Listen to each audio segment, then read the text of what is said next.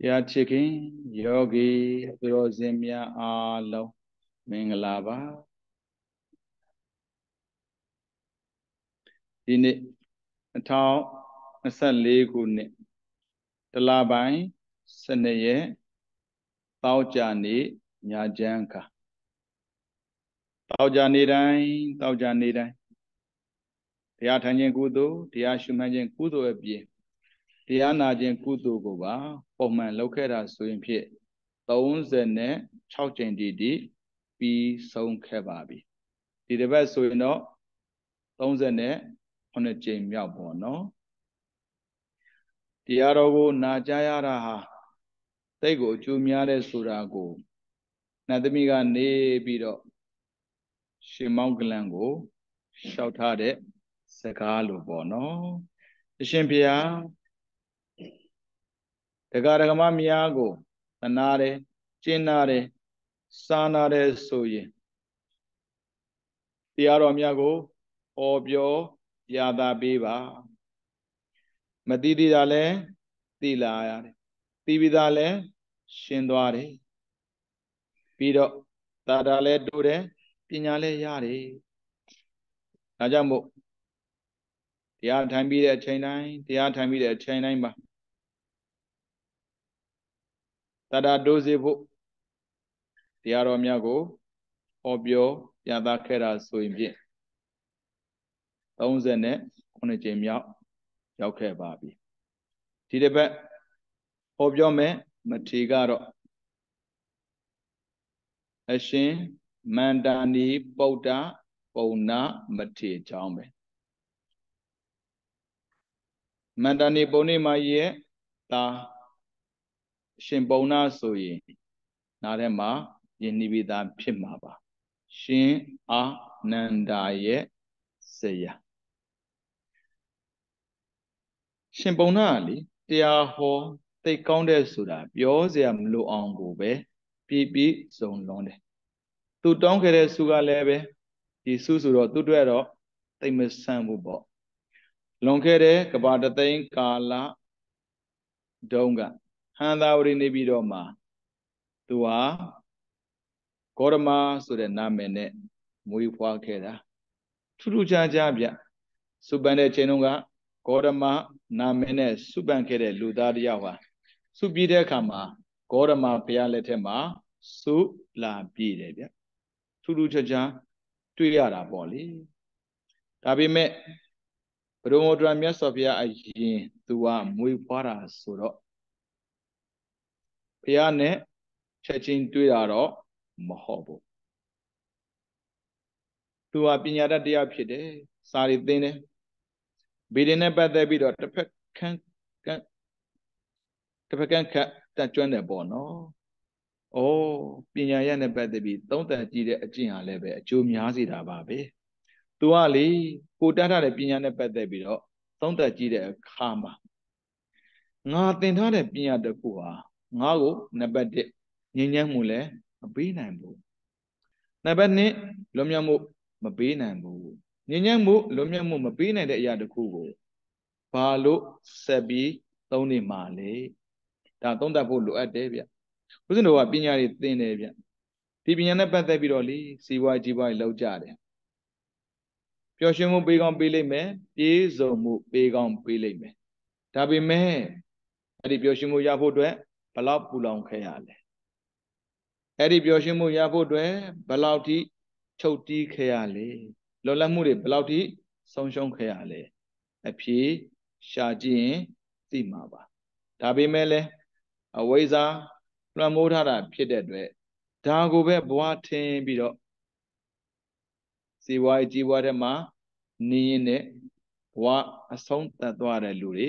အမြောက်များရှိခဲ့ပြီ ကိုလည်းတူအပါဝင်မဖြစ်စေနဲ့ပေါ့အခုဂေါရမဆိုတဲ့ပုံနာကြီးဟာသူ့ကိုယ်သူသုံးသက်ဆင်ခြင်တဲ့အခါမှာသူ့တဲ့ဘာမှအကျိုးရှိစေတဲ့ပညာမဟုတ်ဘူးတော်တော်လေးတော့ထူးထူးဆန်းဆန်းတွေးတတ်တယ်ပြောရမှာပေါ့နော်ဖះပွင့်နေတာမဟုတ်ဘူးနော်ဖះနဲ့တွေးနေသေးတာမဟုတ်ဘူး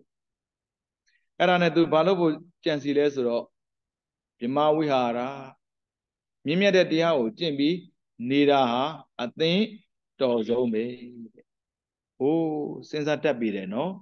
ကိုယ်ဆိုအဲ့လိုစဉ်းစားခြင်းမှာစဉ်းစားမှာကိုမှရှိနေတဲ့ပစ္စည်းဥစ္စာများကိုမှသိနေတဲ့အသည့်မိတ်ဆွေများကိုစွန့်ဖို့သိကြောက်ခဲ့တာဒါပေမဲ့သေဆုံးတဲ့အခါမှာအာလုံးကကိုကိုစွန့်သွားကြမှာမသိခင်ကလေကိုကမစွန့်နိုင်ဆွဲလန်းပြီးတော့တန်းတာနေခဲ့တာ ဒါပေမဲ့သေဆုံးသွားတဲ့အခါမှာဆိုတော့ကိုကိုဘယ်သူမှဂရုစိုက်မှာမဟုတ်ဘူးစွန့်ခဲ့မှာဘယ်လောက်ထိစွန့်ခဲ့တယ်ဆိုရင်အိမ်ဘုကလည်းနင်ချမယ်ရွာထက်ကလည်းပဲထုတ်ပြစ်မယ်တယောက်တည်းအထီးကျန်စွာနဲ့ပဲတញ្ញံကုန်းမှာပြာလေးဖြည့်ပြီးတော့ကြံခဲ့မှာပေါ့သူကတော့အဲ့လိုအဖြစ်မခံနိုင်ဘူးတဲ့တော်တဲ့သွားပြီးတော့တရားကျင့်တာပညာရှင်တရားဖြစ်တဲ့ ပုဂ္ဂိုလ်ကတောင်မှတရားကိုကျင့်တယ်ဆိုတော့ကျန်တဲ့ပုဂ္ဂိုလ်တွေလည်းကျင့်တာမဆန်ဘူးသူ့မှာတပည့်ပေါင်း1000နဲ့8000ရှိတယ်တဲ့ဟိုးပြေးစုံလိုက်တာနော်သူ့သိအားချဖို့ကောင်းတာပဲသူကသူတရားကျင့်တာနော်သူ့သူတရားကျင့်တာဆရာမရှိဘူးတရားရတာပဲဗျာမတရားဖို့တရားတော့မဟုတ်ဘူးပေါ့ ဇန်တရားရတာလေအဲ့ဒါကြည်သွားအဖြစ်ဘုရားရှင်ဝင်ထွန်းပေါ်ပေါရတဲ့ကိစ္စဘာလဲဆိုတာသိရောပေါ့ခန္ဓာဒုက္ခကို မြင်နိုင်တဲ့ဉာဏ်မျိုးတော့မရဘူးဒါပေမဲ့និဝရဏကင်းစေတဲ့တရားမျိုးကိုတော့ရတယ်ဗျာသမာပတ်ကိုပါပြည့်စုံသွားတဲ့ရူပကုသိုလ်၅ပါးအရူပကုသိုလ်၄ပါး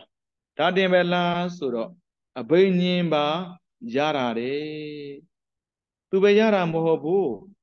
သူသည်သူတတ်ထတဲ့ပညာကို ပြန်ပြောပြသတာသူရဲ့တပည့်18000လည်းပဲဆရာနဲ့တသားတည်းဖြစ်ကုန်တာလေတော်တော်တော်တဲ့ဆရာတယောက်ပြောရမှာပေါ့နော်တယောက်တည်း၄တောင်မကြံခဲ့တာအောဆရာပဲအားလုံးဟာဇန်အဘိညာဉ်ရတဲ့ပုံကိုယ်တွေကြီးပဲ ဒီလိုနဲ့ခေတ်ကာလရလာနှိတွေကြော်ဖြတ်ရင်းနဲ့အသက်ကြီးပြီးအိုလာတဲ့အချိန်မှာဘုရမဒရမြတ်စွာဘုရားက လောကမှာပွင့်ထွန်းပေါ်ပေါက်လာတာသူတို့ရဲ့စန္ဒာတွေသူတို့ရဲ့ဝူရိယတွေကလေအဓိပတိဘလောက်တက်တယ်လဲမသိဘူးဘုရားရှင်ကသူတို့စီကိုကြွားတဲ့အချင်းတွေဘုရားရှင်က နေတိုင်းနေတိုင်းအယုံတက်တဲ့အခါမှာလောကကို ကြည်လေးရှိတယ်ဘသူတွေများတရားရမလဲဘသူတွေများစူကြီးပန်ကြမလဲတရားရမယ့်ပုဂ္ဂိုလ်က1000နဲ့8000စူကြီးပန်မဲ့ပုဂ္ဂိုလ်ကတရားမြို့ထဲမှာမဟုတ်ဘူးရွာထဲမှာမဟုတ်ဘူးတောထဲမှာအိုးအကျိုးထူရနိုင်တဲ့ပုဂ္ဂိုလ်တွေရှိတဲ့နေရာကိုလေ ထူးခြားတဲ့ပုဂ္ဂိုလ်တွေကြွားရောက်တာမဆန်းဘူးဘုရားရှင်ကနေပြီးတော့တပါးတည်းကြွသွားတဲ့အချိန်ဂေါရမယေသိစီမှာတပည့်တွေတရားမှမရှိဘူးတော်တဲ့သွားပြီးတော့တတိရှာနေကြတာဘုရားကနားရောက်လာတဲ့အခါမှာသူတတ်တဲ့တတ်ထားတဲ့ပညာနဲ့ရှိတာကိုသူကဘေးတင်သိကျွမ်းတာလက္ခဏာသိကျွမ်းတာ တချို့ဆိုအင်္ဂါဝိဇ္ဇာကျွမ်းတဲ့အတွက်မြင်တာနဲ့ဒီလူရဲ့ right ကိုမှန်းကြည့်လို့ရတာဗျအခုကလေသူကြည့်လိုက်တာနဲ့သူသင်ထားတဲ့ပညာကိုသုံးသပ်ကြည့်လိုက်တဲ့အခါမှာဟောဒါတာမန်ပုဂ္ဂိုလ်မဟုတ်ဘူးအရာရာတာလွန်နေတဲ့ပုဂ္ဂိုလ်ဖြစ်တဲ့တွေ့တဲ့ဒါဟာဘုရားပဲဖြစ်မှာအိုးအောက်ကိုဆင်းပြီးတော့ပူဇော်တာအဲ့ဒီချိန်မှာပဲသူရဲ့တပည့်18000ကရောက်လာတာ သူတို့ရဲ့ဆရာက အောင်မထိုင်းသူတို့ဆရာမဟုတ်တဲ့ပုဂ္ဂိုလ်ကအပေါ်မှာထိုင်းနေတာတွေ့တော့တော်တော်လေးအော်သွားတယ်လောကမှာငါတို့ဆရာတည်တံလေအမျက်ဆုံးတို့ထင်ခဲ့တာငါတို့ဆရာထက်မြတ်တဲ့ပုဂ္ဂိုလ်လောကမှာရှိနေပါဘောလားဒါတွေးနေတဲ့အချိန်တပည့်တွေကတဖြည်းဖြည်းနဲ့အနာကိုရောက်လာတဲ့အခါမှာဆရာဆိုတဲ့စွဲနဲ့လေဆရာကို ရှိခုတာမျိုး လုံးမကိုသိကြောက်တယ်တဲ့။ဘာဖြစ်လို့ဆိုတော့ဘုရားရှိပါရဲ့နဲ့ဆရာကိုရှိခုတာမသိတော်ဘူးတဲ့။အဲ့ဒါနဲ့လေတပည့်တွေအနာရောက်လာတဲ့အခါမှာအတန်ကြောက်တော့တဲ့နေရာမှာပေါ့နော်ရောက်ပြီဆိုတာ ਨੇ तू လှမ်းပြောတာအေးဟေးဟေးငါ့ကိုမရှိခိုးနဲ့ငါ့ကိုမရှိခိုးနဲ့ငါရဲ့ထဲမှာရှိနေတဲ့ဘုရားကို ရှိခိုးတဲ့အိဒါကင်းတာနော်မာနကင်းလိုက်တာ ကိုဆိုရင်ကိုကိုဂယုဆိုင်မှကိုကိုအလေးပေးမှငါမင်းတို့ရဲ့ဆရာလေမင်းတို့ရဲ့ဂယုဆိုင်မှုငါတို့မခံငါမမခံဘယ်သူခံမှာတော့ဘာဖြစ်လို့တခြားဆရာကို အလေးပေးနေတာလဲလို့တွေးရင်တွေးမှာသူ့ကိုလေဖះနဲ့ရှင်ပြီးရှိခိုးမှကိုကြောက်တဲ့အဲ့ဒါကြောင့်သူကတားတာအဲ့ဒါနဲ့ဩဆရာပြောတဲ့စကားဆိုရင်တော့ဆရာတဲ့သာလွန်လို့ဖြစ်မှာပါလေအဲ့ဒါနဲ့တပည့်တွေက ရှိခိုးတာပေါ့လေအဲ့ဒီအချိန်မှာပဲဘုရားရှင်ကနေပြီးတော့ဧကသာဝကမဟာသာဝကနှစ်ပါးအပါဝင်တန်ဃာတသိန်းကြွားစေလို့ဒိဋ္ဌံလိုက်တာနဲ့ဧကသာဝကမဟာသာဝကနှစ်ပါးနဲ့အတူတန်ဃာတသိန်းဟာအဘိညာဉ်နဲ့ကြွားလာကြတာတော်တဲ့ရောက်လာတာပေါ့ဗျာအဲ့ဒါနဲ့တတိကတ်ကြတာပေါ့တတိဖုံပြီး ဖုံပြီးပြီးတဲ့အခါမှာဂေါရမယေတိကဘဝင်မကြတာတခုရှိတယ်တဲ့တခြားမဟုတ်ဘူးမြင့်မြတ်တဲ့ပုဂ္ဂိုလ်တွေအတွက်နေရာကတိမ်တန်ရှင်းအောင်ဖြစ်နေတာသူတို့တော်ထက်မှနေကြတာကိုပလင်ဆိုတာလည်းမရှိဘူးနေရာဆိုတာလည်းမရှိဘူးအဲမသိတော်ပေဘူးမသိတော်ပေဘူးငါတို့ကယသိတွေကိစ္စမရှိဘူးဒါပေမဲ့လာတဲ့ဧည့်သည်တွေကတာမန်ပုဂ္ဂိုလ်တွေမဟုတ်ဘူးဘုရားမှုရှိတဲ့ တန်ဃာတော်အရှင်သူမြတ်မြတ်ဖြစ်နေတယ်ဒါကြောင့်သူရဲ့တပည့်တွေကိုမိတ်ကြားတယ်တောတောင်မှာရှိတဲ့ပန်းပဲဖြစ်ဖြစ်ရေပေါ်မှာရှိတဲ့ပန်းပဲဖြစ်ဖြစ်ရေပေါ်မှာရှိတဲ့ပန်းဆိုရင်ကြာပန်းပေါ့ဗျအဲ့ဒီပန်းတွေကိုအကုန်ခိုးပြီးတော့ပလင်နေနဲ့ပူဇော်ကြစို့ဖျားမှုရှိတဲ့တန်ဃာတော်တသိန်းအတွက်ပန်းပလင်တွေကိုဖန်တီးပေးတာ။ဩဘိညာရထားတဲ့ပုံကိုယ်တွေဆိုတော့လည်းဗျာ မြင်တာပေါ့လှုပ်ခြင်းနဲ့စန္ဒရှိတာနဲ့ချက်ချင်းပြီးတာပဲ။အဲ့ဒါနဲ့ဘုရားမှုရှိတဲ့တန်ဃာတော်များကနိရောဓသမဘတ်ဝင်စားတဲ့အဲ့ဒီချိန်မှာဂေါတမယတိကလေဘယ်ကိုမှမရွေးပဲနဲ့ဖះနာမနေပြီးတော့ပူဇော်နေတာသူရဲ့တပည့်18000ကတော့တတိဝလံရှာပေါ့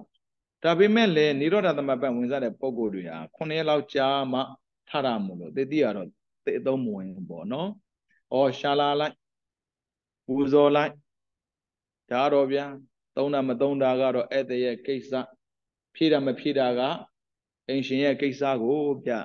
ခုနှစ်ရက်ပြီးသွားတဲ့ကာလမှာနိရောဓသမပတ်ထားလာပြီးတော့သုံးဆောင်ပုံပြရတာပေါ့အဲ့ဒါနဲ့ဘုရားရှင်ကနေပြီးတော့ တန်ခါတသိန်းထဲမှာပါလာတဲ့တရားဟောသိကောင်းတယ်ဆိုတဲ့မထေရဘာကိုမိတ်တယ်တဲ့ခုနှစ်ရက်လုံးလုံးပန်းနဲ့ပူဇော်ရတာဖြစ်တဲ့အတွက်ပန်းပူဇော်တဲ့ကုသိုလ်နဲ့ပတ်သက်ပြီးတရားလေးဟောပါဦးဟောပြီးတာဟိုးသဘောကျကြတာပေါ့လေတရားတော်တော်ကောင်းတယ်လို့ပြောတယ်အဇံဘိညာရထားတဲ့ပုံကိုယ်တွေလည်းပဲ ကြသွားတာနားထောင်တဲ့ရဟန္တာတွေလည်းခြေနဲ့တာဖះပြီးရင်သူ့ဘက်နဲ့တူပါရဲ့တရားဟောကောင်းတာအာဂေါရမယတိကသိသဘောကြတာပဲသူတရားဟောပြီးတာနဲ့ဖះတရားဆက်ဟောလိုက်တော့တပည့်18000ဟာလေးမဲ့လေးဖို့ပြည့်စုံပြီးတော့ရဟန္တာဖြစ်ကုန်ရောဒါပေမဲ့ဘသူကြံခဲ့လဲဆိုတော့ ဆရာကြံခဲ့တယ်ဆရာကစန္ဒလေးပြောင်းသွားတာအရင်ကဆိုရင်လော့ချင်တဲ့စန္ဒရှိကောင်းရှိလိမ့်မယ်ဒါပေမဲ့အခုကြားလိုက်တဲ့တရားဟာသူရဲ့အတိကို ပြောင်းလဲပြီးသွားတာဒါကြောင့်ဘုရားကိုလျှောက်တယ်ရှင်ဘုရားပရမဇွန်တရားဟောတဲ့ပုဂ္ဂိုလ်ကဘယ်လိုပုဂ္ဂိုလ်လဲတဲ့ ဟိုးတို့သာသနာမှာတရားဟောကောင်းလုံးလို့ဣတတဲ့ရာထားတဲ့မထေဘောရှင်ပြားရဲ့ဒီပြီးတော့လေရှင်ပြားကိုခုနှစ်ရက်လုံးလုံးအစာမစားပဲနဲ့ပူဇော်နေခဲ့တာအဲ့ဒီကုသိုလ်ကြောင့်လူနတ်ပြမမဖြစ်ချင်ပါဘူးတဲ့တရားဟောကောင်းပါတယ်ဆိုတဲ့မထေလို့တရားဟောကောင်းတယ်မထေတပါ ဖြစ်ချင်ပါတယ်တဲ့ဘယ်လောက်ကြာမှလဲကဘာတသိန်းကြာမှနော်တော်တောင်တတိတော့မဟုတ်ဘူးဦးဇင်းတို့လေးဒီဘဝမှာကြုံတွေ့တဲ့ဒုက္ခကညာလာပါပြီကြုတ်ချင်းပါပြီရခြင်းပါပြီဆိုတဲ့ဆန္ဒတွေဒီတဘဝတည်းပေါ်ခဲတယ်လို့မထင်နဲ့ဗျဘဝတော်တော်များများလဲပေါ်ခဲဖူးမှာပဲဒါပေမဲ့စန္ဒာဒီပတိမတက်ခဲ့တော့လေ ပျောက်ကျန်းပြက်ကျန်ခဲ့တာမျိုးအခုလည်းပဲတရားတွေနာနေပြီမဲ့လို့မဖို့နဲ့ပတ်သက်ပြီးတကယ်ရခြင်းတဲ့စန္ဒာပြင်းပြမလာသေးတာကိုတော့တတိထားမိကြမှာပါအပေကိုမကြားခြင်းတဲ့စန္ဒသာပြင်းပြတာနိဗ္ဗာန်ကိုရခြင်းတဲ့စန္ဒတော့ပြောသလောက်အပြင်းပြသေးဘူးကိုကိုကိုသိမှာပါဟုတ်တယ်မလား ဘယ်ကအဓိကလွတ်ချင်တာလဲနိဗ္ဗာန်ကိုတကယ်ရချင်တာလားအပယ်ကတကယ်လွတ်ချင်တာလားသိမှာပါနော်အာသူကတော့ရဲတယ်ဗျာရဲရဲတင်းတင်းပဲတသိန်းမကလို့ဘယ်နှသိန်းပဲကြာကြာလိုချင်တာကိုလိုချင်တာလောဘလို့မထင်လိုက်ပါနဲ့စန္ဒစတသိဟာ ကုသိုလ်မှလည်းရှင်းပါတယ်မဲဖို့မှလည်းရှင်းပါတယ်သူတို့ရဲ့စန္ဒကလဲဖို့အတွက်ဖြစ်တဲ့စန္ဒမဟုတ်လောဖို့အတွက်ဖြစ်တဲ့စန္ဒဖြစ်တယ်ဆိုတော့အတော်လေးမြင်မာတာကိုအဲ့ဒါနဲ့ဘုရားရှင်ကလည်းပဲဗျာဒိတ်ပေးတာပေါ့ဗျာဒိတ်ဆိုတာဒါ confirm လုပ်ပေးတာ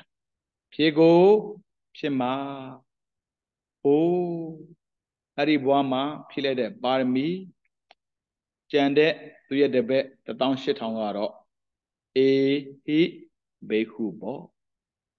ဘုရားနာကိုကောက်ကောက်ပါသွားတာပဲရဟန္တာဖြစ်ပြီကိုဗျကြံခဲ့တာဘယ်သူကြံတာလဲဆရာကြံတယ်ဒီယူမဆိုင်ဘူးကိုလုတ်ကိုကိုလို့ရမှာနော်ဦးဇင်းတို့တရားထိုင်တဲ့အခါမှာခန္ဓာကနာတာကျင်တာကြိုက်တာခဲတာမရှိဘူးလားအဲ့ဒါဘယ်သူလှုပ်လှုပ်တာလဲခန္ဓာလှုပ်ကိုလှုပ်တာကိုဝင်ရှုပ်ရင် ကိုခံရတာပဲကိုလှုပ်ကဘာလို့ရမှာလဲတတိနဲ့တမာရီမြောင်ကြိုးစားဖို့မဟုတ်ဘူးလားအခုတပည့်တွေမရှိတော့လို့သူဝမ်းနဲ့မဲ့ထင်လားတပည့်လို့ကိုတပည့်လှုပ်သွားမယ်ဆရာလို့ကိုဆရာလုံနေရမယ်ဆရာလုတ်ကတော့ဗျာပြည့်မဲ့ပါရမီအတွက်ပေါ့နော်ဖြည့်တာတစ်သက်လုံးဖြည့်သွားတာအဲ့ဒါနဲ့သိဆုံးပြီးတဲ့အခါမှာလူပြေနတ်ပြေလူပြေနတ်ပြေလှဲလဲပြီးတော့ကျင်လည်ခဲရင်နဲ့ အခုနောက်ဆုံးဘဝဂေါရမဗုဒ္ဓလက်ထက်ဒေါနာဝတ္ထုပုံနာရွာတဲ့ဒေါနာပုံနာရွာပဲပြောကြပါစို့မန္တာနီဆိုတဲ့အမျိုးသမီးကြီးရဲ့သားဖြစ်လာတာမန္တာနီဆိုတဲ့အမျိုးသမီးကြီးဟာလေအရှင်ကောဋိညာရဲ့အမအရင်အရှင်ကောဋိညာကိုတော့သိမှာပါအညာတိကောဋိညာဆိုတာ မန္တာနီပုံနေမဆိုတာအရှင်ကောဋိညာရဲ့အမအရင်ခေါခေါအဲ့ဒါသူမွေးလာတဲ့အခါမှာသူ့နာမည်ကို ပုံနာလို့ပေးတာလေပုံနာဆိုတာပြည့်ပြည့်စုံတာတဲ့ perfection ပဲနာမည်ကပုံနာလို့ပေးထားတာအောစရာအဲဗမာလို့ဆိုတော့မောင်ပြေးစုံပေါ့လေ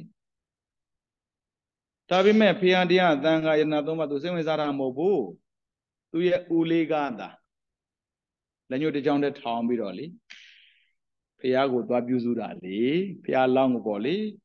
၆နှစ်တီးတီးပြုစုတာ၆နှစ်ပြေးခါနီးအစာစားပြီးတရားကျင့်တာတွေ့ပြီးတော့တော်တော်တော်ဒီလိုပုံကိုမျိုးတရားရစရာအကြောင်းမရှိပါဘူးလက်ညှိုးတစ်ချောင်းတည်းသူပဲထောင်ခဲ့တာဒါပေမဲ့ဖះကိုပုံကံပြီးပထမဆုံးထွက်ထွက်တာလဲသူပဲထွက်ခဲ့တာပဲဒါပေမဲ့ ဓမ္မစကြာတရားတော်ကိုစတင်ပြီးဟောတဲ့အခါမှာပထမဆုံးတရားရသွားတာကသူကိုဗျအဲ့ဒါနဲ့ပထမဝါပြီးလို့သံဃာတဏိပါဒတဘိုးတွေလာပြီးနေမှာကျင့်ပါတာကိုကျင့်ပါပြီးတဲ့အခါမှာရှင်သာရိပုတ္တရာနဲ့ရှင်မောကလန်နှစ်ပါးကိုလဝယံလဲရယံနေနဲ့သတ်မှတ်ပြလိုက်တဲ့အခါမှာရှင်ကုန်းနေညာအာနာမိတာတဲ့ ယာထုဂုံသိက္ခာနဲ့ကြည့်မဲ့ဆိုရင်ရှင်သာရိပုတ္တရာရှင်မောကလန်မြင်မာနေတယ်ဒါပေမဲ့အသက်နဲ့ကြည့်မဲ့ဆိုရင် ရှင်ကုန်းတင်ညာကကြီးနေကြီးမှာပေါ့ဖះလောင်းမွေးကာစားမှာဟိုကသူကလူကြီးဖြစ်နေပြီလေဟုတ်တယ်မလားပုံနာတရားနဲ့ရှောက်ထက်ကရွေးလိုက်တဲ့အခါမှာသူကတယောက်အပါဝင်ဖြစ်လာတာရှေ့ရောက်သောပုံနာဟောတဲ့ထဲမှာသူကအငယ်ဆုံး ဒါဆိုဖះနဲ့သူကအသက်ကွာတာပဲသူကသိအားနာတာပဲတဲ့ရှင်သာရိပုတ္တရာနဲ့ရှင်မောကလန်တန်ဃာစင်ပေါ်တက်လာပြီဆိုရင်ဖះရဲ့ညာနဲ့ဘဲမှာထိုင်ရတာမှန်ပေမဲ့လို့ရှင်ကုန်းနေညာကြီးရှိတဲ့ခါမှာခေါင်းလေးငုံငုံပြီးတော့သွားတာတယ်။အိုးကြည်ညိုစရာကောင်းလိုက်တာနော်။အရိယာတွေမဟုတ်လား။ယဟန္တာတွေမဟုတ်ဘူးလား။ကိလေသာကင်းစင်မနေဘူးလား။ရှားထုရမကြည့်ဘူးလား။ အိုးဒါပေမဲ့လေအပစာယနာသီလဆိုတာကြာပူကြမှာပါ။ပုထုဇဉ်တွေသာမပြေဆုံးနေမှာယန္တာပုဂ္ဂိုလ်တွေမပြေဆုံးတဲ့အကြောင်းမရှိဘူးဗျအဲ့ဒါနဲ့ရှေ့ကငုံငုံပြီးသွားနေတယ်တမယာထုနဲ့ကြည့်မယ်ဆိုရင်တိတ်ကြည်လွန်းတဲ့အတွက်အဲငါ့ကိုမှီပြီးတော့သူတို့ဒုက္ခရောက်မှာပါလေအဲ့ဒါနဲ့ဘုရားကိုရှောက်ပြီးတော့စတ္တအိမ်မှာသူကသွားနေတာဒါပေမဲ့ တောင်းဝန်ကြည်လွန်းတယ်ပြောရမှာဘာဖြစ်လို့ဆိုတော့သာသနာအတွက်သူဟာဘာမှလုပ်ပေးခဲ့တာမရှိဘူးလေတရားလည်းမဟောပေးခဲ့ဘူးတဝါပဲရသေးတာလေ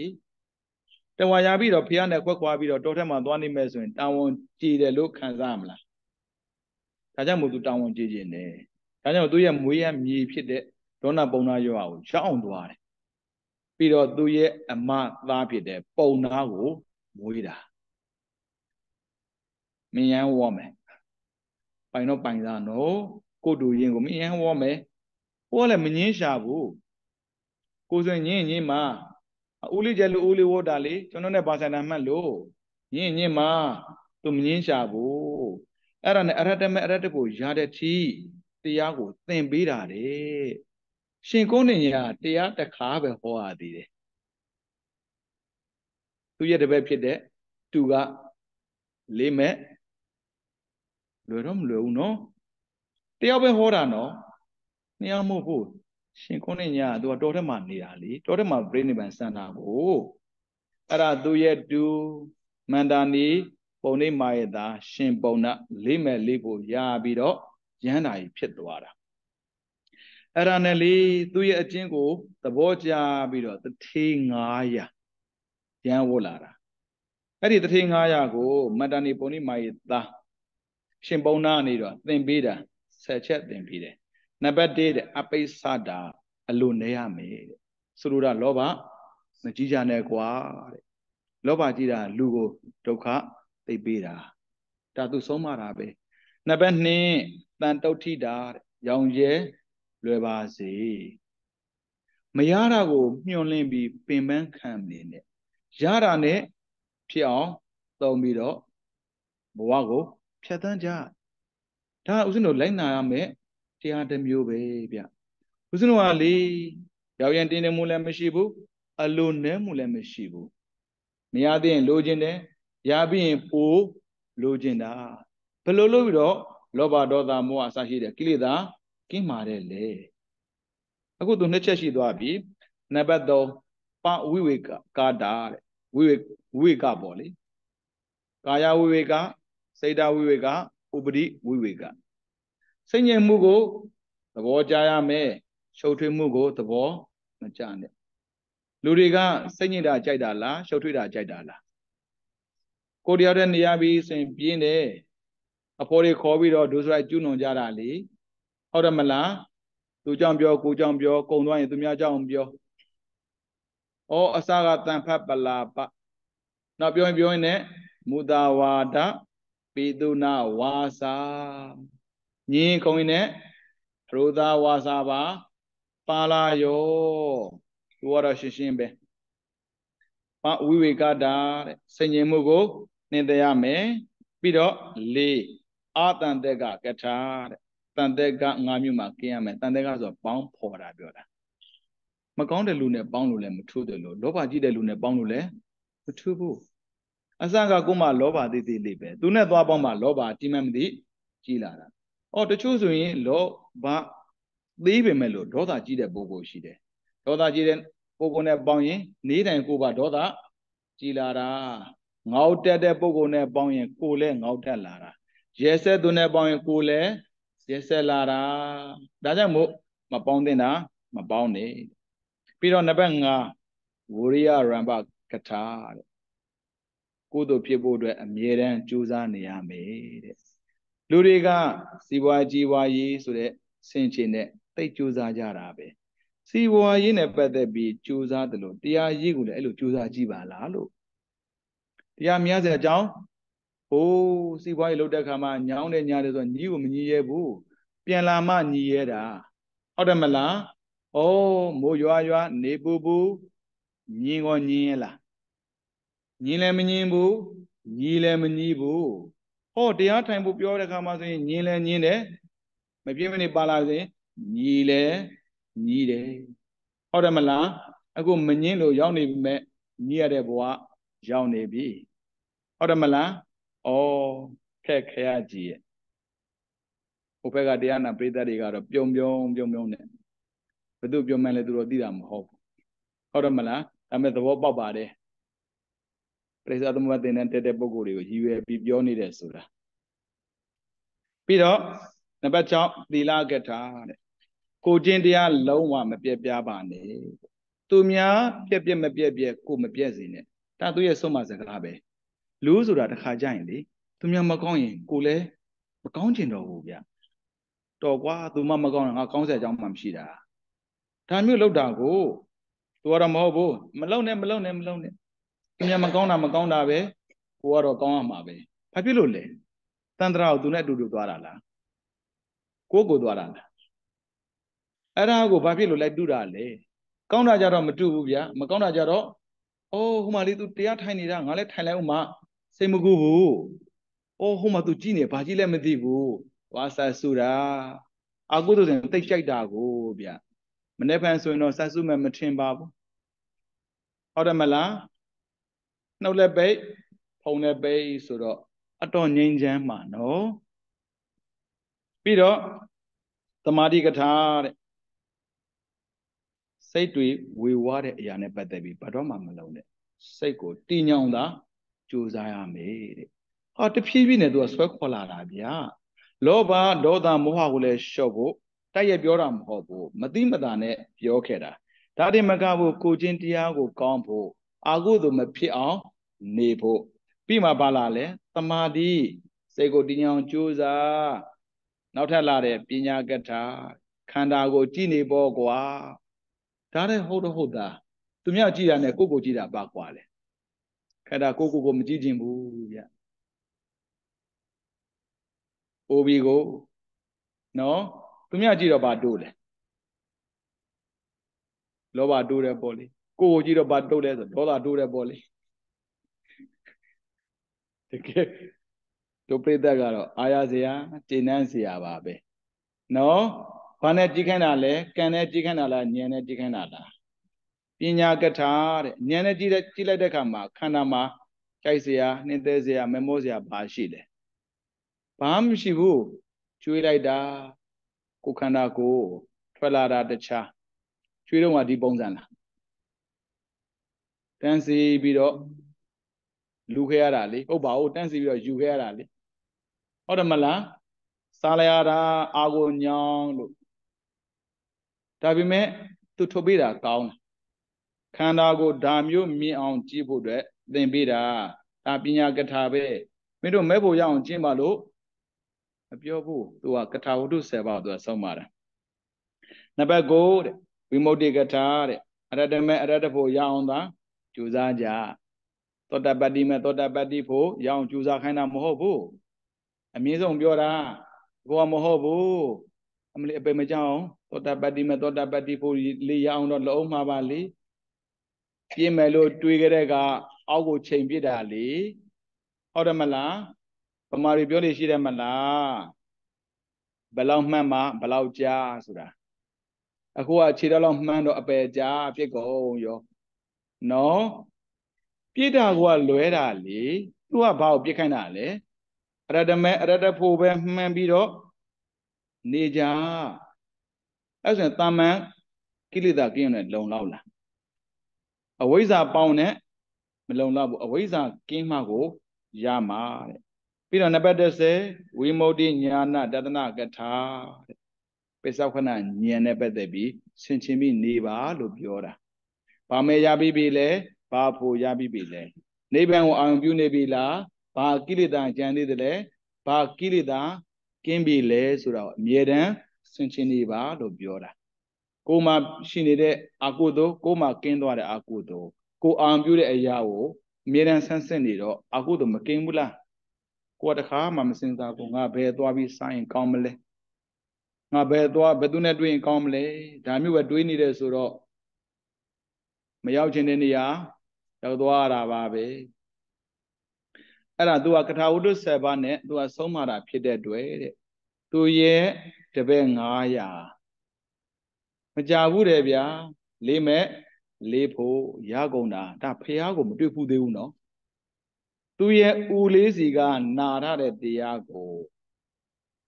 ကျင့်ပြီးတော့ယန္တာဖြစ်သွားတယ်ပြီးတော့သူပြောတဲ့စကားကိုနားထောင်ပြီးတော့ ယန္တာ900ဖြစ်လာတယ်ဟာတော်တော်လေးတော့အကျိုးများတာကို ရှင်ကုဏ္ဏညာရလေအမြင်သိကျတာပဲเนาะဒါမျိုးဆက်ချမ်းတာပေါ့เนาะဦးဇင်းတို့လည်းပဲတန်းတဲ့လောက်ကြိုးစားနေတာပါပဲအခုဦးဇင်းရဲ့ညာဘက်မှာရှိနေတဲ့တန်းစီပြီးတော့ထိုင်နေကြတာသူဘယ်လောက်များပြင်းနေကြမလဲမသိဘူးတခါမှအဲ့လိုမထိုင်ဖို့ဘူးဒါနှစ်နိုင်လောက်ထိုင်ရမှာ၈ပါးရှိတယ် သံတနိုင်ပို့ထားတာတော့ဒီတဲ့ပုံများတာပေါ့နော်ဒါမျိုးဆက်မွေးတဲ့သဘောပါပဲဘာဖြစ်မလဲတော့မပြောတတ်ဘူးပေါ့နော်အခုမန္တာနေပုံနေမာရတာရှင်ပုံနာမွေးထုတ်လိုက်တဲ့တပည့်900ကရဟန္တာဖြစ်ကုန်တာအဲ့ဒါနဲ့လေရဟန္တာဖြစ်ပြီဆိုတော့လေကိလေသာကင်းစင်ကြောင်းကိုရှာဖွေတွေ့ရှိခဲ့တဲ့ဖရာကိုသူတို့ဖူးကျင်တာဆရာကိုလျှောက်တယ်ဆရာတပည့်တော်တို့လေ ဝါလာကင်းတော့တရင်နဲ့ချွတ်ပြီးဖရာကိုဖူးပြားစေအေးကွယ်သွားသွားသွားသွားဖူးတားစရာလို့လားရဟန္တာကြီးလေဖရာတရားတန်ခါရနာသုံးပါမြဲနေတာကိုဗျအေးသွားသွားသွားငါကဖူးမြုံလိုက်တဲ့ဆိုတာလေးပြောပေးပါတကယ်ဆိုရင်သူပါလိုက်တင်တာပေါ့တပည့်တွေရုပ်ရုပ်ရုပ်နဲ့သွားတာဆရာအတွက်မသိတော့ဘူး တွေးတာလေးနော်ဦးဇင်းတော်ကလေကိုနောက်ကိုလူတွေအများကြီးပါမှကျင်တတ်တာကြွားကျင်တာလည်းပါမှာပေါ့လေဒါရငါတပည့်တွေဆိုကြွားကျင်တာလည်းပါရင်ပါမှာပေါ့သူအဲ့လိုမဟုတ်ဘူးတပည့်တွေများနဲ့မသွားခြင်းဘူးတဲ့သူများရဲ့အမြင်မှမသိရင်မကောင်းဘူးဦးဇင်းတော်ကလေထဲမတွက်ဘူးသူများမြင်တာဘာဖြစ်တာမှန်လို့ကိုယ်နဲ့ဘာဆိုင်လဲရှော့မတွက်ပါနဲ့လူဆိုတာအမြင်အမျိုးမျိုးရှိတာကိုဒါကြောင့်မို့ သွားကြအဲ့ဒါနဲ့ဘုရားစီရောက်သွားတာပေါ့လေအဲ့ဘသူရဲ့တပည့်ပါသူတို့ကရှောက်တဲ့ခါမှာဟုတ်ပြီတဲ့အဲ့ဒီပန်းဝန်းကျင်မှာနေတဲ့ယဟန်သံဃာတွေထဲမှာထင်ရှားကြော်ကြပြီးပါဇက်ဖြတ်ကခြားလို့မရလောက်အောင်ကို နာမည်ကြီးတဲ့ပုံကိုယ်တွေရှိလားယဟန်သံဃာရအများကြီးဖြစ်နေပြီလေမှန်ပါတယ်ဗျာတဲ့အဲ့ဒီပုံကိုကတော့တပည့်တော်ရဲ့ဆရာပါပဲကိုးဆရာမို့လို့ချီးကျူးတာမဟုတ်ဘူး ဒါပါလိမ့်မယ်ရှင်သာရိပုတ္တရာကိုယ်တိုင်ကသူရဲ့တရားကိုလေအောင်လေးစိုက်ပြီးတော့နာယူရတာတရားဟောကောင်းလုံးတာကိုဗျအဲ့ဒါနဲ့ဖះကလည်းချစ်ကျူးတာပေါ့ဟုတ်ပြီတယ်ဟုတ်ပြီတယ်ဖះကရာဇဂိုကနေပြီးတော့တာဝတိရောက်တဲ့အခါမှာကပိလဝတ္ထုနေပြီးတော့ကနေပြီးတော့ ရှင်ဘုန်းနာဘုရားကိုလာပြီးတော့ပူးတာဘုရားရှင်သတင်းသုံးတဲ့ကန္ဓကုတိတိုင်းဆိုတာရှိတယ်ဇေဒုံအကြောင်းထဲမှာအခုဆိုရင်ရောက်ဖူးတဲ့လူတွေသိတာပေါ့နော်အဲ့ဒီကြောင်းထဲကိုဝင်ပြီးတော့ဘုရားကိုတိုက်ရိုက်ပူးတယ်ဘုရားကလည်းပဲသူကနေပြီးတော့တပည့်တွေကိုပို့ချဟောပြောပြတာတဲ့ကထာဝုဒ္ဓဆယ်ပါပဲဘုရားဟောတာဒီ ကိုသီးပြီးသားပဲမဟုတ်ပါနဲ့မပြောဘူးတရားကိုလေသိလေးစားတာပဲဦးဇင်းတို့ဆိုရင်လေကြာပြီးသားတရားဆိုရင်ခပ်ပေါ်ပေါ်နာတာဟုတ်တယ်မလားဒါကြောင့်ငါသိပြီးသားပဲအာယုန်လေးစိုက်ပြီးတော့နားလိုက်တဲ့အခါမှာတတိသမารိပညာကပ်ပြီးဆိုရင်ကိလေသာကင်းသွားနိုင်တယ်နော်အခုလေယန္တာဖြစ်ပေမဲ့လို့အာယုန်လေးစိုက်ပြီးနားနေတာ ရှင်သာရိပုတ္တရာလीသူရဲ့တပည့်တွေပြောတဲ့အချိန်ကလေးကရှင်ပုံနာကိုတွေးကျင်တာအမလီဒီလိုမျိုးဆုံးမကောင်းအဟောကောင်းတယ်မထီနဲ့လေတွေးပြီးတော့စကားပြောလိုက်ရရင်တိတ်ကောင်းမှာပဲလို့တွေးခဲ့တာကြာပြီဒါပေမဲ့မတွေးရသေးဘူးလေသူရဲ့တပည့်တွေကရာဇဂျိုသွားတာကို အခုဆရာကတာဝတိကိုရောက် ဒါပေမဲ့ရှင်သာရိပုတ္တရာရဲ့တပည့်ကလည်းနဲမှမနေတာသူလည်းပြောထားတာဖြစ်မှာပေါ့နော်ရှင်ပုံနာကိုလူစကားပြောဆိုဖူးကျင်လိုက်တာတွေးကျင်လိုက်တာပေါ့နော်တွေးကျင်လိုက်တာဒီအတန်ကိုကြားဘူးတဲ့ဆိုတော့ယဟန်တန်ဃာတွေကနေပြီးတော့ရှင်ပုံနာကိုရောက်တယ်ဆိုတာကိုအကြောင်းကြားပြီးတာပေါ့နော်ရှင်သာရိပုတ္တရာကိုအဲ့ဒီချိန်ကဆုံးလေးစားပြီးတော့အန္တဝန်တော်တဲ့ကိုသွားတဲ့အချိန်နဲ့သွားတိုးတာနောက်ကနေတော့လိုက်တာပဲရှင်သာရိပုတ္တရာ သူပြောတဲ့စကားလေးကိုကြားကျင်တာသူပြောလိုက်တာနဲ့တပြိုင်နက်ဘာ900ဖြစ်သွားလို့လဲရဟန္တာ900ဖြစ်သွားလို့ဒီလောက်ကောင်းတဲ့တရားကိုဟောနိုင်တဲ့ပုဂ္ဂိုလ်မှာဒီတဲ့ကောင်းတဲ့တရားတွေရှိနေနိုင်သေးတယ်နာကျင်သေးတာတဲ့ရှင်သာရိပုတ္တရာပုထုဇဉ်တာရဟန္တာဖြစ်တာကြားဖို့သူထထောင်စောသေးတယ်လေ ကိုဆိုရင်ဒါသိပြီးသားဆိုရင်နောက်ထပ်သိခြင်းစိတ်မရှိတော့ဘူးကွာတာနောက်ကနေလိုက်တာအဲ့ဒါနဲ့ရှင်ဘုံနာရှေ့ရသွားရှင်သာရိပုတ္တရာနောက်ကလိုက်ဒါပေမဲ့စကားပြောဖို့အချိန်ကမရလိုက်ဘူးရှင်ဘုံနာရောက်တာနဲ့တစ်ပင်အောင်ဝင်ပြီးတော့ဖလားသမတ်ပတ်ဝင်စားနေတာအေးလေသူဝင်စားတော့ငါလည်းဝင်စားမယ်ပေါ့အဲ့ဒါနဲ့ဝင်စားညနေဆောင်လေးရောက်မှဖလားသမတ်ပတ်ထလာအဲ့ဒါနဲ့နားကိုသွားပြီးတော့ မိတ်ဆက်တာပေါ့လေရှင်ဘုရား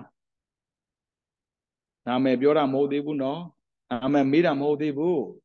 တရားနဲ့ပတ်သက်ပြီးသိကျင်လို့ရှင်ဘုရားရှင်ဘုရားမြင့်မြတ်တဲ့တရားတွေကိုကျင့်သုံးပါရဲ့လားမှန်ပါဗျာဒီကမြင့်မြတ်တဲ့တရားတွေကိုကျင့်သုံးပါတယ်ဗျာဒါဆိုရင်ရှင်ဘုရားကသီလစင်ကြယ်ဖို့အတွက်သာသနာထဲဝင်လာတာလားမဟုတ်ပါဘူးဗျာ ဒါဆိုရင်အရှင်ဘုရားကသမာဓိစိတ်တွေစင်ကြယ်ဖို့အတွက်သာသနာထဲဝင်လာသလားမြတ်တဲ့ကျင့်ကိုကျင့်သလားမဟုတ်ပါဘူးဗျာဒါဆိုရင်ရှင်ဘုရားကဉာဏ်အမြင်စင်ကြယ်ဖို့အတွက်ညီမဲ့တဲ့တရားကိုကျင့်သလားသာသနာထဲဝင်သလားမဟုတ်ပါဘူးဗျာဟုတ်တာတခွန်းမှမပါဘူးဒါဆိုရင်ရှင်ဘုရားအနေနဲ့ယုံမှမှုကင်းဖို့အတွက် သာသနာထဲဝင်ပါသလားတရားကျင့်ပါသလားမဟုတ်ပါဘူးဗျာဒါဆိုရင်ဘုရားရှင်ဗျာလမ်းမှန်လမ်းမှန်ကိုသိကျင်လို့မြင့်မြတ်တဲ့တရားကိုကျင့်ပါသလားမဟုတ်ပါဘူးဘုရားအကျင့်မှန်ဖို့တဲ့ကျင့်ပါသလားမဟုတ်ပါဘူးဘုရားဘာမှမဟုတ်ဖြစ်နေတာခုနှစ်ခါလုံးမေးတယ်ခုနှစ်ခါစလုံးမဟုတ်ဘူးဟာရှင်ဘုရားကမြင့်မြတ်တဲ့တရားကိုကျင့်တယ်လဲပြောသေးတယ် ပြီးတော့မေးလိုက်တဲ့အရာအလုံးကိုမဟုတ်ဘူးမဟုတ်ဘူးပြောတယ်ပြီးတော့ဒီဒီတပည့်တော်ကိုတစ်ချက်လောက်ရှင်းပြလို့ရမလားရတာဗောဗျာတဲ့ဒါဥစဉ်တို့ကြားဖူးပါတယ်ရထဝိနိဒသုံးဆိုတာယထာခုနှစ်စင်းနဲ့ဥပမာပေးတာဒီပြီးတော့ရှင်ပြဥပမာပေးပါမယ်ဗျာသာဝတိမှာနေပြီးတော့အဓိကအုပ်ချုပ်တာကကောသလ မင်းကြီးအရေးကြီးကိစ္စနဲ့တာကိတသွားမယ်ဆိုရင်တာကိတဆိုတာနီးမှမနီးပဲနဲ့မနီးတဲ့နေရာကိုယထာတစည်းတဲ့နဲ့သွားလို့မရောက်နိုင်ဘူးလေမြင်ထားကိုဗျမြင်ဟာခန္ဓာကိုယ်နဲ့တိဆောက်ပြီးသွားတာဖြစ်တဲ့အတွက်အဝေးသွားဖို့မဖြစ်နိုင်ဘူးလေစဉ်းစားကြည့်ပေါ့ရန်ကုန်နဲ့မန္တလေးကိုမြင်းလှည့်နဲ့သွားလို့အဆင်ပြေပါမလားဒါပေမဲ့သွားစရာမရှိဒါပဲသုံးရမှာပဲဒါပေမဲ့ဒစီတဲ့သုံးလို့တော့မရဘူးတဆင်းစီသုံးသုံးရမှာပေါ့ အခုတာကိတသွားဖို့အတွက်ယထာဘယ်နှဆင့်လို့လဲဆိုတော့ခုနှစ်ဆင့်လို့တာအဲ့ဒါနဲ့ယထာခုနှစ်စီးစီစဉ်ရတာပေါ့ပထမယထာကိုစီးတယ်ဒါပေမဲ့အဲ့ယထာရက်သွားတယ်နောက်ထပ်ယထာစီးတယ်ဘယ်နှစီးစီးရမှာလဲခုနှစ်စီးဟောတာကိတရောက်ရောတာကိတရောက်တဲ့အခါမှာသူ့ကိုကြိုဆိုကြတယ်ပေါ့စကားအဆုံးပြီးဆိုပြောမိရောမေးမိရော ဘာနဲ့လာတယ်လဲယထာနဲ့လာတယ်။အော်ဟုတ်ပြီယထာနဲ့လာတာယထာတစီတဲ့နဲ့လာမဟုတ်ဘူးငါပရမယထာစီလာတာပရမယထာပဲစီလာမဟုတ်ဘူးဒုတိယယထာစီရသေးတာဟုတ်တယ်လို့ဘယ်နှခုံးဖြုတ်ပြမှာတော့တခုံးမဖြေလို့ဒါပေမဲ့တာကိတလာတာမဟုတ်ဘူးလားတာကိတလာတာပဲဒါပေမဲ့လာတဲ့ပုံစံကမတူဘူးလေ ဒီလိုပါပဲဖျားတဲ့ယထာခုနှစ်ဆင့်စီးမှတာကိတရောက်တယ်လို့ပါပဲတဲ့ဒိဋ္ဌိကင်းအတ္တကင်းပြီးအဝိဇ္ဇာကင်းဖို့အတွက်ဆိုရင်တော့ဝိသုဒ္ဓိခုနှစ်ပါးပြည့်စုံမှရတာပါဖျားသီလဝိသုဒ္ဓိသီလတစ်ခုစင်ကြယ်ုံတဲ့ကတော့မြင့်မြတ်သူမဖြစ်နိုင်ပါဘူးဖျားစေတဝိသုဒ္ဓိစိတ်စင်ကြယ်ုံနဲ့လည်း ရတမရတဖို့မရနိုင်ဘူးဒိဋ္ဌိဝိသုဒ္ဓိယုံနံကွဲယုံနဲ့လဲမဲ့ဖို့မရနိုင်ဘူးကင်္ခာဝေဒနာဝိသုဒ္ဓိအကြောင်းအကျိုးသိယုံနဲ့လဲဩပရိစ္ဆေသမကိုခြိုက်တလောက်ကျွမ်းနေကျွမ်းနေယုံနဲ့လဲပဲမဲ့ဖို့မရနိုင်သေးဘူးမေဃမေဃညာနာတတနာဝိသုဒ္ဓိဒါကလမ်းမှန်ဒါကလမ်းမှာ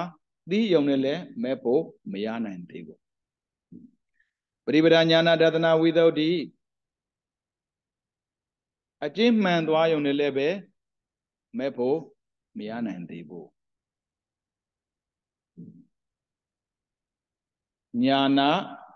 ဒသနာဝိသုဒ္ဓိနောက်ဆုံးရထားကိုစီးမှဘယ်ကိုရောက်မှာလဲတာကိတရောက်မှာဟုတ်တယ်မလား ဒါမှနောက်ဆုံးယထာစီဖို့ယထာဘယ်နဲ့စီစီရမှာလဲ6စီဟုတ်တယ်မလားဒီတိတ်မှာပဲတဲ့ဦးဇင်းတို့ကမက်ဖို့နိဗ္ဗာန်လိုချင်တယ်လိုချင်တယ်ဆိုရင်ဘာယထာစာစီရမှာလဲသီလယထာကိုစာစီရမယ်ဒါပေမဲ့မက်ဖို့နိဗ္ဗာန်ရောက်တယ်လို့ပြောတာ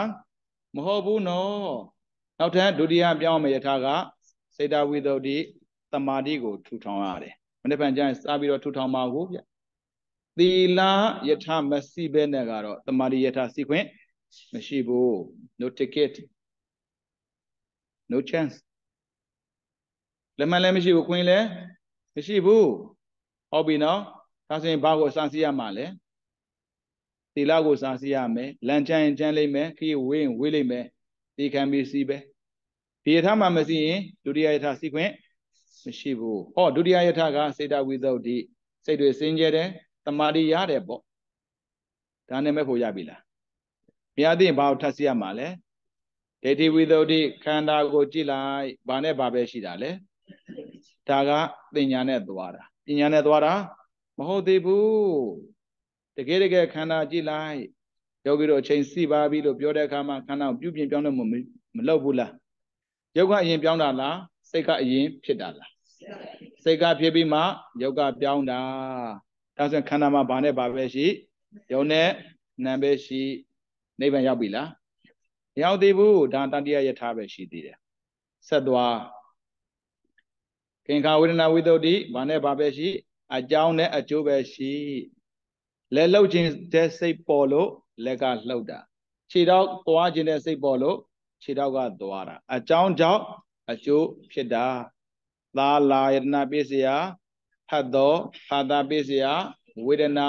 မျက်စိရှိလို့မြင်တာမြင်လို့ခံစားရတာနားရှိလို့ကြားတာကြားလို့ခံစားရတာအဲ့ဒါအကြောင်းကြောင့်အကျိုးဖြစ်တာမဟုတ်ဘူးလားကုသိုလ်လုပ်ခဲ့လို့လူခန္ဓာရတာဟုတ်တယ်မလားအကြောင်းကြောင့်အကျိုးဖြစ်တာဒါသိအောင်နဲ့နိဗ္ဗာန်ရပြီလားမရောက်သေးဘူးနောက်ထပ်ယထာစီဩမေဃမေဃညာနာတတနာဝိသုဒ္ဓိ လမ်းမှန်လမ်းမှသိအောင်သွားဒါကြတော့ဥဒယဗျာဉာဏ်ခေါ်တယ်ဖြစ်ပျက်ကိုမြင်တဲ့အခါမှာရှေ့ပိုင်းနဲ့နောက်ပိုင်းရှေ့ပိုင်းမှာပဲနေပြီးတော့နောက်ပိုင်းမသွားဘူးဆိုရင်ဘရောမှနောက်ပိုင်းကြောင်းမသိနိုင်ဘူးရှေ့မှာလည်းနေနောက်ကိုလည်းသွားအကုန်သိတာပေါ့ဒါလမ်းမှန်လမ်းမှသိတာပြောတာဒါနိဗ္ဗာန်ရောက်ပြီလားမရောက်သေးဘူးဘယ်ရောက်မလဲဗျဆက်သွားပရိပဒညာနာ တသနာဝိသုဒ္ဓိအကျင့်မှားသွားတာလားမှန်သွားပြီလားအကျင့်မှန်ပြီဆိုတဲ့နိဗ္ဗာန်ရောက်ပြီလားသိပြီးမှန်တဲ့အနေနဲ့လေငါတို့ဟာမှန်ကန်တဲ့တရားကိုယုံကြည်ကိုးကွယ်တာမို့လို့နိဗ္ဗာန်ခင်းနဲ့ရောက်ပြီလို့ပြောလို့ရလားအိုးဝိသုဒ္ဓိခုနှစ်ပါးမှာငါးပါးလောက်ရထားတာတောင်မှနိဗ္ဗာန်ခီမရောက်သေးရင်ဘာများမှန်တဲ့စရာရှိမှာတဲ့တော့ဟုတ်တယ်မလားနောက်ဆုံးတော့ဗာလဲညာနာတဒနာဝိသုဒ္ဓိပဲဆိုကြပါစို့ မဲ့ဖို့ရပြီလားမရသေးဘူးလားနံပါတ်6ယထာကိုစီပြီးမှနံပါတ်9စီခွင့်ရှိတာဒါပေမဲ့နံပါတ်9စီမဲ့ဆိုရင်နံပါတ်1မစီပဲနဲ့မရဘူးနော်ဒါကြောင့်မို့မျက်စိပိတ်နားပိတ်ဖုံးပိတ်အဲ့ဒါပါလဲသီလအဲ့ဆိုစိတ်ပါအာယုံနဲ့ကင်းသွားတာမို့လို့စေတဝိတ္တိမဖြစ်ဘူးလားယထာဘယ်နဲ့စီးပဲရှိသေးလဲ မနေ့ကဘယ်နဲ့စီးစီးမှာနှစ်စီးစီးမှာရောက်ပြီလားငါးစီးကြံတရမလားနောက်ထပ်ငါးစီးစီးမယ်ဆိုရင်တော့နောက်ထပ်ထပ်ကြိုးစားပေါ့အိုးတရားဟောတာရှင်းလိုက်တာတဲ့ရှင်သာရိပုတ္တရာသိသဘောကြတာရှင်ပြားရေးရှင်းလိုက်တာကောင်းလိုက်တာမှန်တာပေါ့မှန်တာပေါ့သူမရဖူးတာလည်းမဟုတ်ဘူးနော်သူရဖူးတယ်သူရဖူးတယ်အဲ့ဒါနဲ့ မိတ်ဆက်မှပေါ်တာရှင်မြဘသူလဲဖေ။ပုံနာပါမန္တန်ဒီပုံနေမာယတာပုံနာအဲရှင်ဖျားကရောဒီပြီးတော့ကတော့တာရိပုတ္တရာပါဗျာဖျားဖျားဖျားရှင်ဖျားကိုသာတာရိပုတ္တရာလို့သိခဲ့မဲ့ဆိုရင်ဒီလိုဟောကိုမဟောဘူးတဲ့ဉာဏ်မြင်မှန်လို့တဲ့ပုဂ္ဂိုလ်တရားကိုအကျက်ချက်ပြီးဟောတာဟာအချိန်ဖြုံးတာနဲ့တူတယ်တဲ့သူရှင်သာရိပုတ္တရာတွေ့ဘူးလား ဘယ်ကလာတွေ့ဘူးမှာတော့ဟုတ်တယ်မလားသူပထမဆုံးတွေ့တာကသူ့ရဲ့ဦးလေးဟုတ်တယ်မလားပြီးတော့ဒုတိယတွေ့တာကသူ့ရဲ့တပည့်တွေတပည့်900ရဟန္တာဖြစ်သွားတာလေကျန်တာမတွေ့သေးဘူးတတိယတွေ့တာဘယ်သူလားတွေ့တာလဲဖေယားဒါကြောင့်သူ့ရဲ့ဘဝမှာရှင်သာရိပုတ္တရာဆိုမတွေ့ဘူးသေးဘူးမတွေ့ဘူးတော့စကားကိုလေသူကတော့နားလဲစေချင်တာ ရှင်းစေချင်တာတိတိကျကျရှင်းပြရှာတယ်အဲ့ဒါတရားဟောကောင်းတယ်လို့ပြောတာတာတို့ခေါ်ပြီးကျင့်နှံလိုက်တာဒါမဲ့ရှင်သာရိပုတ္တရာမှန်သိတော့နည်းနည်းတော့တွန့်သွားတာပေါ့မလီရှင်ပြားရေတပည့်တော်သာစောစောသိမဲ့ဆိုရင်အဲ့လောက်စကားရှင်းနေမှာမဟုတ်ဘူးတရားရှင်းနေမှာမဟုတ်ဘူးရှင်ပြားစီကသာတပည့်တော်တရားနာယူလိုက်ချင်တာအိုးသူတော်ကောင်းများလေနော် နှိတ်ချကြတာတယောက်နဲ့တယောက်လေရှင်သာရိပုတ္တရာလည်းပဲတရားနာခြင်းလို့သူစီသူစီသွားပြီးတော့ငါဘသူပါဘသူပါမပြောဘဲနဲ့တရားနာတယ်ကိုယ်စင်ပြောလို့မရဘူးရှင်မြတ်တရားလေးဟောပေးပါအောင်ဒီတော့ကဘသူဘောဖေဟောမှာတော့လန်တန်တန်ဖြစ်သွားမှာဩသူတို့နှစ်ပါးတပန်းနဲ့ပါချီချူးနေကြတာပုထုဇဉ်တွေလားယန္တာတွေလားဝဏမစီယကင်းတာပုထုဇဉ်တွေကမဟုတ်ဘူးဒီလောက် သူလည်းပြောတတ်တယ်ငါလည်းပြောတတ်တယ်သူဖီနဲ့ကိုဖီမတူလို့သာငါဖီတက်လာကြည့်ပါလားငါသိကျွမ်းတာဩမေဆရာလည်းဖြစ်သေး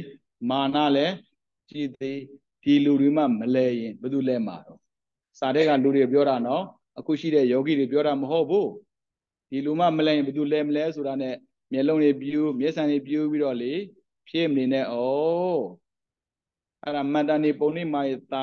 တရားဟောကောင်းလို့လို့ရှင်သာရိပုတ္တရာကိုယ်တိုင်ကသာတို့ခွာတာဒါကြောင့်ဘုရားရှင်ကနေပြီးတော့ဣရိတဲ့ပေးတဲ့အခါမှာသာသနာမှာတရားဟောအကောင်ဆုံးပုဂ္ဂိုလ်ဟာမန္တာနီပုံနေမာယတာရှင်ပုံနာပါပဲတဲ့ပုံနာရဲ့တပည့်ထဲမှာဘသူကပါသွားလဲရှင်အာနန္ဒာကပါတယ်ရှင်အာနန္ဒာဘုရားတရားဟောလို့မဲ့ဖို့ရတာမဟုတ်ဘူးရှင်ပုံနာဟောလို့ မဲ့ဖို့ရတာအတော်ထူးဆန်းတဲ့မထေကြီးပြောရမှာပေါ့နော်ဒါဆိုသာသနာမှာသူတစ်ဖက်တွေဘယ်လောက်များနေမလဲမသိဘူးထင်ရှားတဲ့ပုံကိုယ်တွေကိုသာဦးဇင်းတော်ကပြောလို့သိရတာခုနကရဟန္တာ900တောင်မှဘသူတွေမှဦးဇင်းတို့မသိဘူး900လို့ပဲပြောတာကိုဒါပထမဆုံးတပည့်တွေနော်ဒါပထမဝါမှာမွေးလိုက်တဲ့တပည့်တွေနောက်ထပ်နောက်ထပ်နောက်ထပ်မွေးမဲ့တပည့်တွေဘယ်လောက်များများနေမလဲမသိဘူးနော်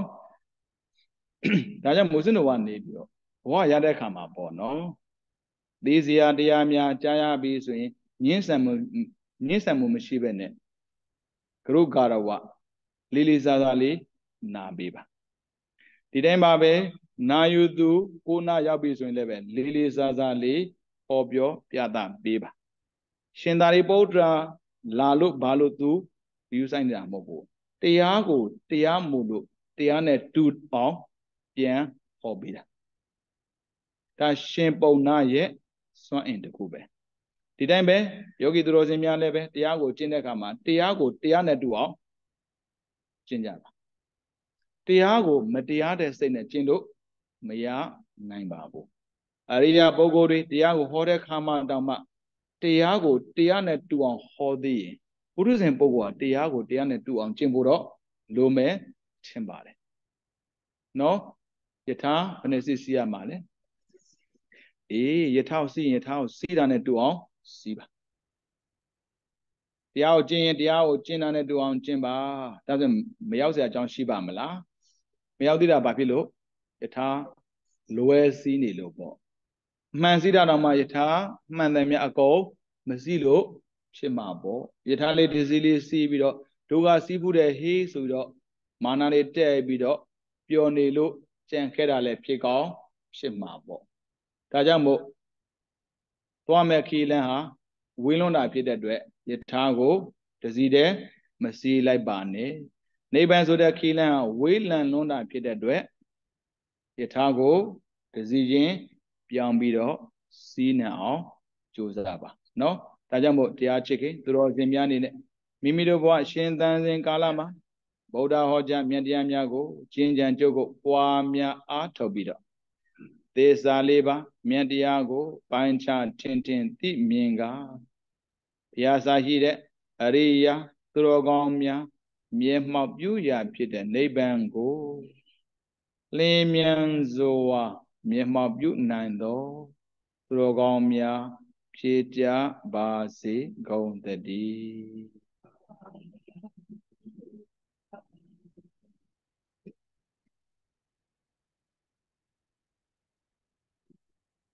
ရာချစ်ခင်ယောဂီသူတော်စင်များအားလုံးကိုယ်စိတ်အေးကဘေးရန်ကွာ၍ဝမ်းသာတကွချမ်းသာကြပါစေ